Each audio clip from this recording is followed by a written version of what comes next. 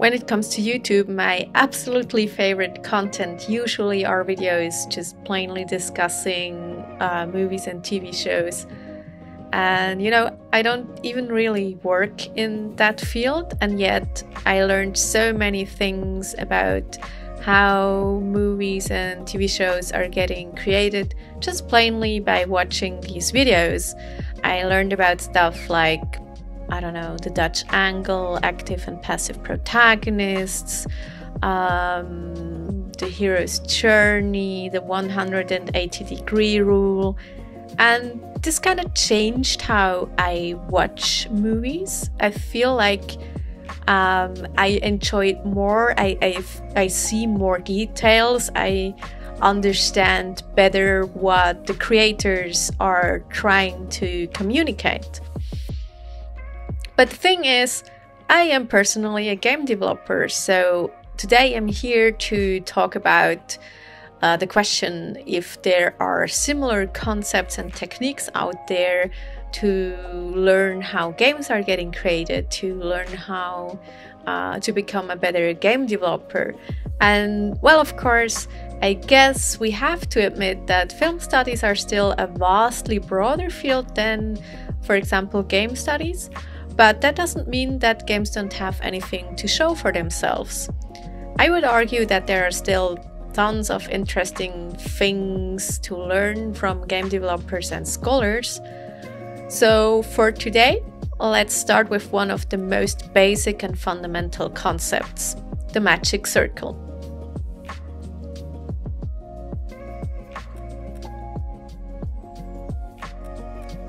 Now, of course, the first question is what is exactly that magic circle? And most importantly, what is so magical about it? The magic circle is a quite old concept. It originally was developed by historian Johan Huizinga. He noticed that our everyday lives are governed by certain rules. Sometimes they are pretty obvious, um, like let's say uh, written rules, for example, like laws. But sometimes these rules are also unwritten and they completely change based on where you are, with whom, and when. So, to understand this a little bit better, let's have a look at a famous quote from his book Homo Ludens. The arena, the card table, the magic circle, the temple, the stage, the screen, the tennis court, the court of justice, etc., are all in form and function playgrounds, that is, forbidden spots, isolated, hedged round, hallowed, within which special rules obtain. All are temporary worlds within the ordinary world, dedicated to the performance of an act apart. Okay, so this is quite a long quote, um, and it's not especially complicated, but let's still make uh, an example and let's take one that he actually used himself um, the Court of Justice. The Court of Justice is a good example because it's pretty obvious that there are special rules which apply within the Court of Justice. Um, these rules govern where people sit, for example, who they uh, can speak to, when they can speak, and in what manner, and most importantly, who has which power. In the court, the judge has the power to rule over other people's lives. It is part of the rule set of the court, but you know, as soon as she leaves court, if she is going home, for example, riding the bus, uh, luckily she does not have the power anymore to rule over people's life. So we can see that there are very distinct boundaries to uh, the rule set of the court, and that basically is the magic circle. It's a specific space, and when people are entering that space, they are subjected to a specific set of rules. Huizinga also notes that the magic circle usually has these very uh, distinct boundaries as he writes in another quote. All play moves and has its being within a playground marked off beforehand, either materially or ideally, deliberately or as a matter of course. As we have talked about the Court of Justice before, uh, these boundaries can be a spatial thing, uh, like a building or a room, like in the courtroom. It can even be something more abstract, like uh, lines on the ground, for example, for a football field. But uh, the boundaries can also be imagined. Uh, so, for example, when someone asks you to play a game of rock, paper, scissors, and you reply with yes, uh, you're basically stepping into the magic circle of rock, paper, scissors just with your verbal agreement. In either way, it can be said that entering the magic circle seems to be an action, uh, either by literally stepping into something physically, like uh, a building or a room, or agreeing verbally, like with our example with rock, paper, scissors. So, since we are talking about video games, uh, entering the magic circle can also be another action, like, for example, starting the game application or picking up a controller. Speaking of games, it wasn't Huizinga who made the magic circle popular in terms of video games. That also would have been a little bit hard because uh, Homo Ludens was released in 1938. Rather, it was Katie Salen and Eric Zimmerman who popularized the concept in game development circles. And I would like to look at two specific aspects of their work on the magic circle. So, before we talked about how the magic circle can be confined by physical borders, uh, such as the lines of a football field. But time is just as important. Salen and Zimmerman argue that a game has always a beginning, a middle, and a quantifiable outcome at the end, and of course, that does.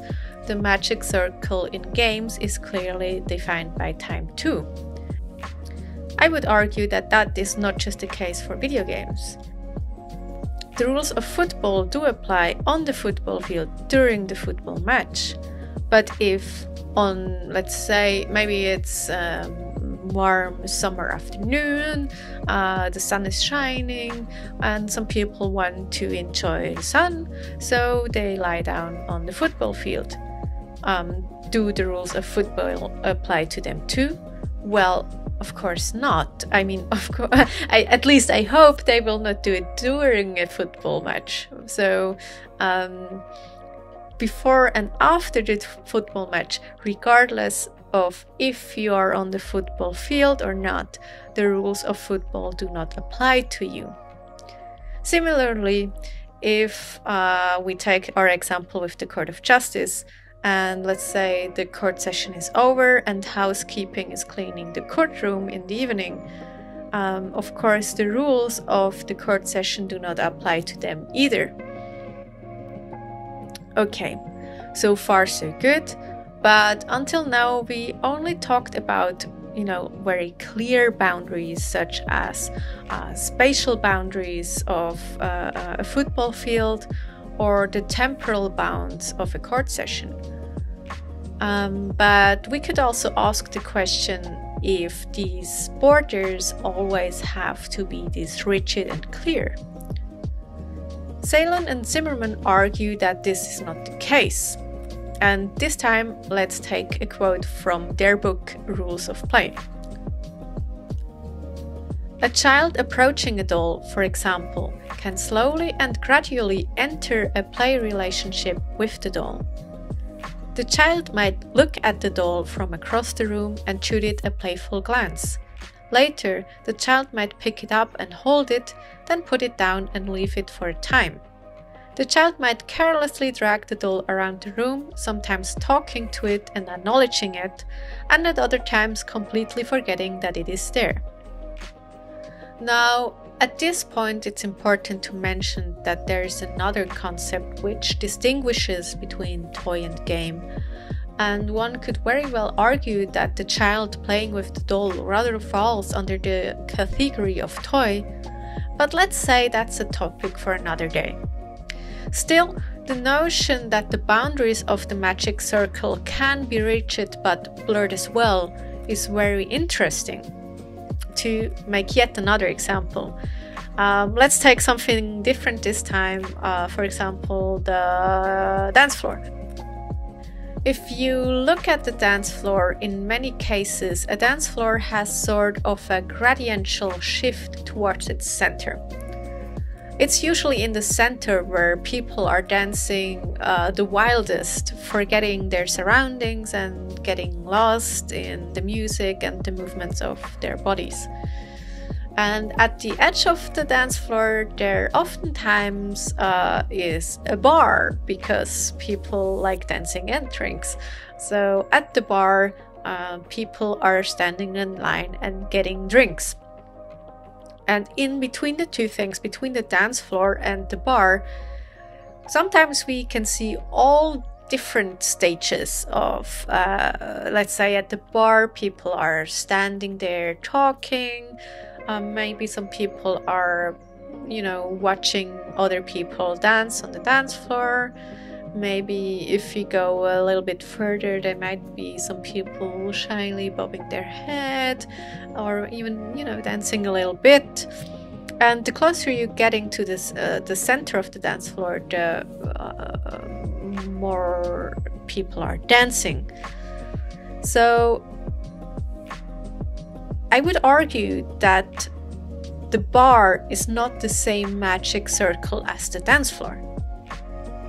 After all, they have like very different rule sets. And yet, there is a gradual transition between the two.